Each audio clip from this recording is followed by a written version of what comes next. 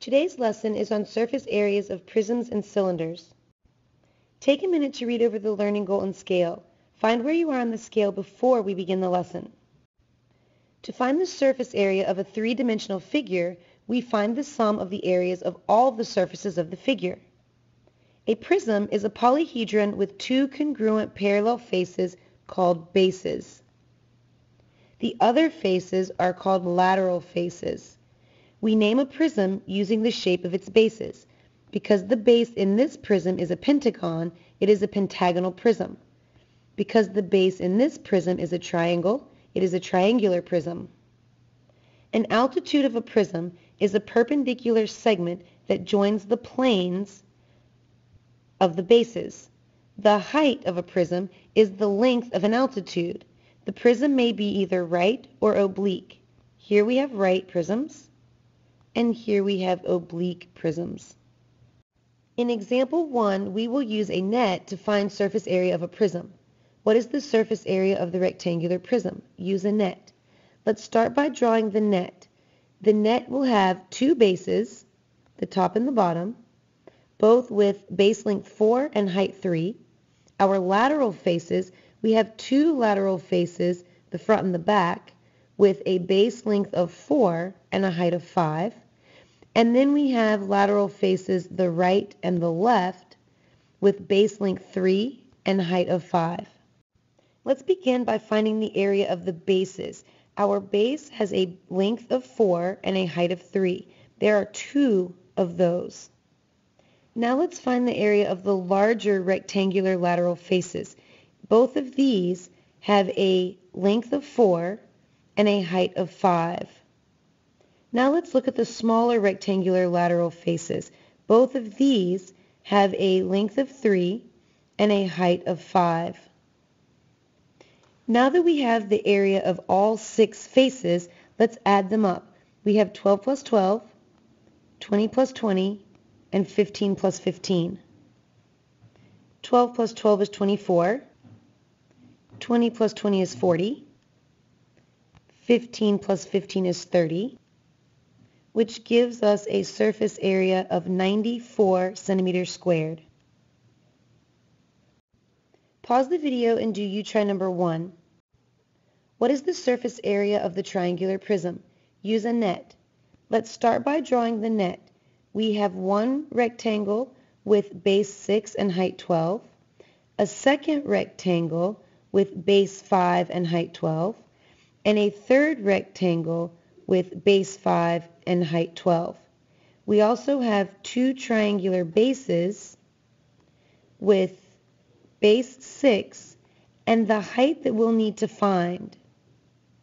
Let's start by finding the area of the two triangular bases. Since we don't know the height of the triangle, we're going to have to use the Pythagorean theorem.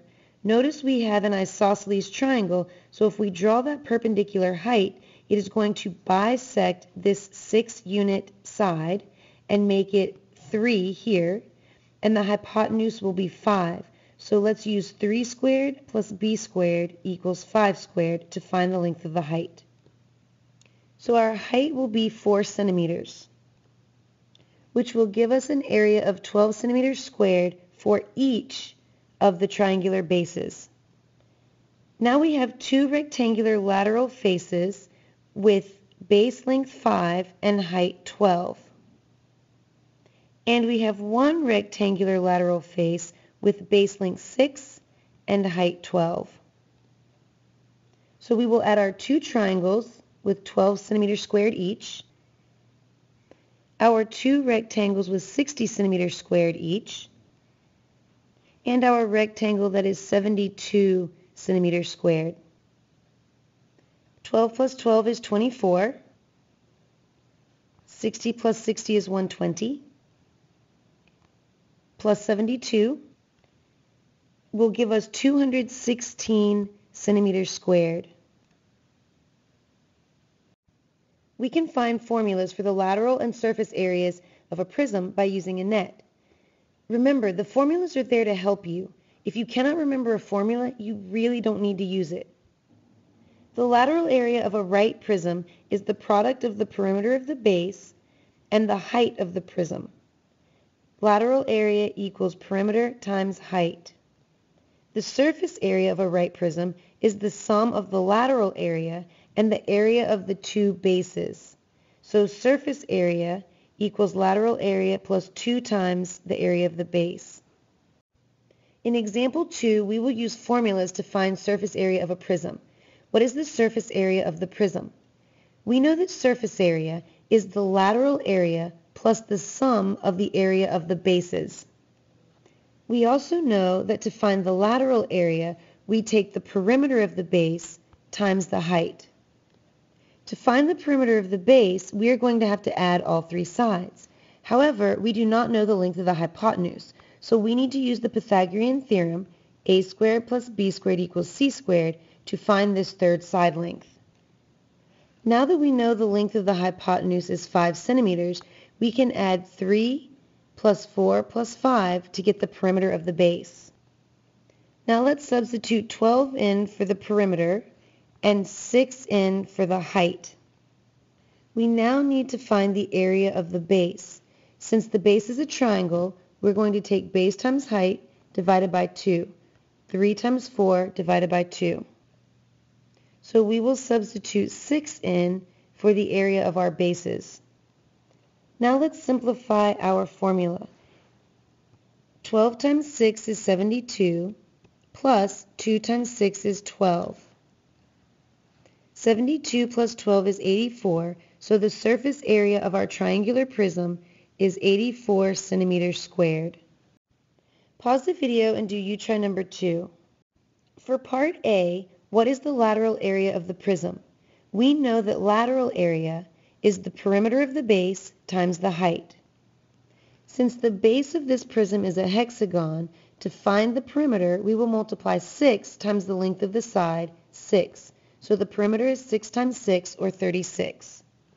The height of our prism is 12. To find the lateral area, we will multiply 36 times 12 for an area of 432 square meters. For part B, what is the area of a base in simplest radical form? Since our bases are hexagons with side length 6 meters, we know that we're going to have 6 congruent isosceles triangles with a 6 meter base. We will need to find the height of the triangle by drawing in that perpendicular segment. That will give us a right triangle with a base that is half the length of the original triangle base, 3. And since our vertex angle of this triangle is 60 degrees, remember, six triangles form a circle, so 360 divided by 6 is 60. That means this angle will be half of 60 or 30. We now have a 30, 60, 90 triangle with the short leg being 3, so the long leg or the height will be 3 radical 3. So the area of our hexagonal base is going to be 6 triangles with a base length of 6, a height of 3 radical 3, divided by 2. Let's start with 6 times 3 is 18. Divided by 2 is 9. 9 times 6 will give me 54, radical 3. For part C, what is the surface area of the prism rounded to the nearest whole number? The surface area is the lateral area plus 2 times the area of our base. The lateral area is 432 meters squared, and the area of one base is 54 radical 3 meters squared. This gives us 432 plus 108 radical 3. Using a calculator, we will get approximately 619 meters squared. A cylinder is a solid that has two congruent parallel bases that are circles an altitude of a cylinder is a perpendicular segment that joins the planes of the bases. The height of the cylinder is the length of the altitude. In a right cylinder, the segment joining the centers of the bases is the altitude. In an oblique cylinder, the segment joining the centers is not perpendicular to the bases. To find the area of the curved surface of a cylinder, visualize unrolling it like a label on a soup can. The area of the resulting rectangle is the lateral area of the cylinder. The surface area of a cylinder is the sum of the lateral area and the area of the two circular bases. The formula for the lateral area of a cylinder is 2 pi r times the height because the base length of this rectangle is actually the circumference of the base. We can also use the formula pi times the diameter times the height. To find the surface area of a right cylinder, we will take the sum of the lateral area, or 2 pi r times the height, plus the sum of each circular base, so 2, because there are two bases, pi r squared. In example 3, we will find the surface area of a cylinder. The radius of the base of a cylinder is 4 inches and its height is 6 inches. What is the surface area of the cylinder in terms of pi? I like to start by drawing the cylinder and labeling the radius and the height. To find the surface area, we need to start by finding the lateral area. The lateral area is the circumference of the circle times the height. 2 times 4 is 8, times 6 is 48, times pi is 48 pi. So the lateral area of the cylinder is 48 pi inches squared. To find the surface area, we need to add the lateral area to the area of the circular bases. Since the lateral area is 48 pi, we will substitute that in for lateral area. Since the radius is 4, we will substitute that into the formula for the area of the base.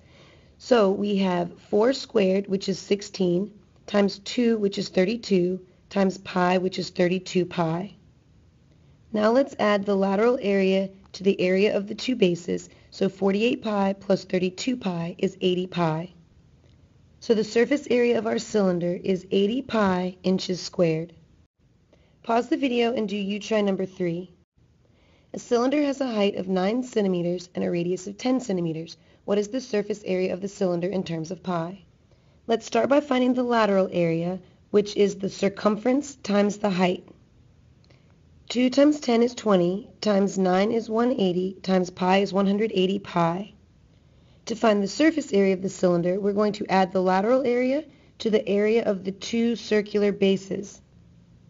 10 squared is 100, times 2 is 200, times pi is 200 pi. 180 pi plus 200 pi is 380 pi. So the surface area of the cylinder is 380 pi centimeters squared. In example 4, we will find lateral area of a cylinder.